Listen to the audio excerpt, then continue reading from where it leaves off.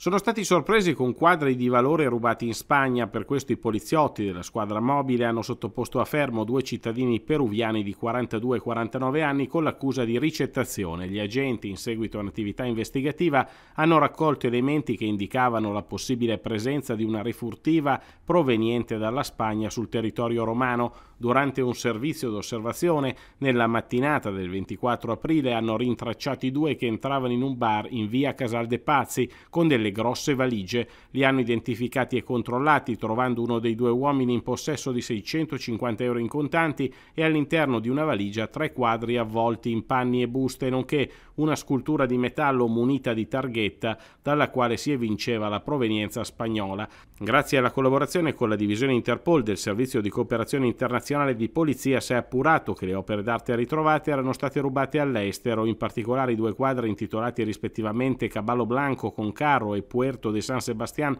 dal valore complessivo di 170.000 euro di proprietà della Galleria d'Arte Lorenart erano stati rubati presso l'hotel Miguel Angel a Madrid a maggio 2021. I due uomini sono stati sottoposti a fermo per il reato di ricettazione in concorso e associati presso la casa circondariale di Regina Celi. La Procura di Roma ha chiesto e ottenuto dal giudice per le indagini preliminari la convalida del fermo e contestualmente è stata disposta per i due uomini la custodia cautelare in carcere.